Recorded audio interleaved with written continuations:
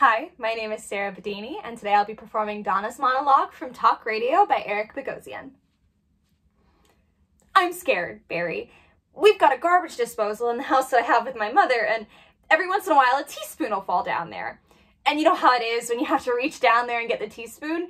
I mean, you don't want to do it. Who knows what could be down there? Could be garbage, a, a piece of something, or germs.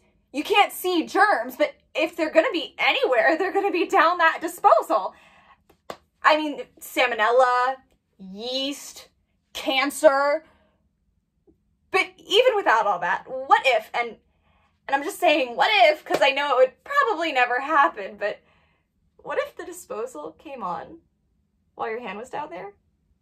I get so scared thinking about it that half the time I just leave the teaspoon down there, but then I'm worried that my mother's gonna get mad if she finds the teaspoon down there. So I turn on the disposal and I try to make it go down, but instead it just makes this huge racket. And so I stand in the middle of the kitchen paralyzed as the teaspoon goes around and around and around. And it makes this huge noise, this horrible noise, but.